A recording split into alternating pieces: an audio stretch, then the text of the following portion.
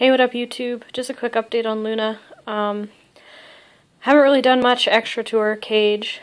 Um, I put a box in there, kind of like a hide. Um, I don't, I can't get enough soil to like make it really deep, like everybody keeps saying. So she's sort of dug away her way in there and kind of made a bit of a den. Uh, she's still got water, and then she's got the Savannah to monitor food there, and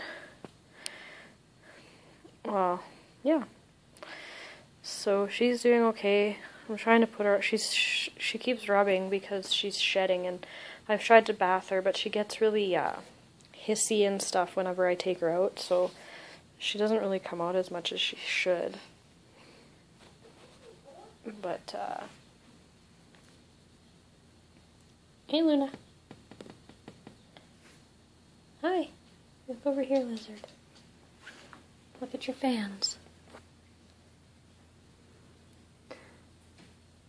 But yeah, she's still doing alright. Her water dish and stuff, I just cleaned out all the poop and stuff in her tank and cleaned her water dish and put her this box in there. And yeah.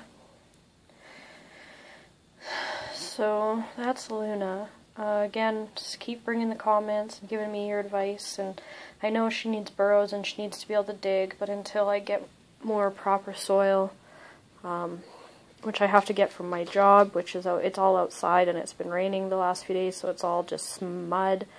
So once I get more soil and stuff, she, it'll be better. But for now, it's still just like this. But yeah.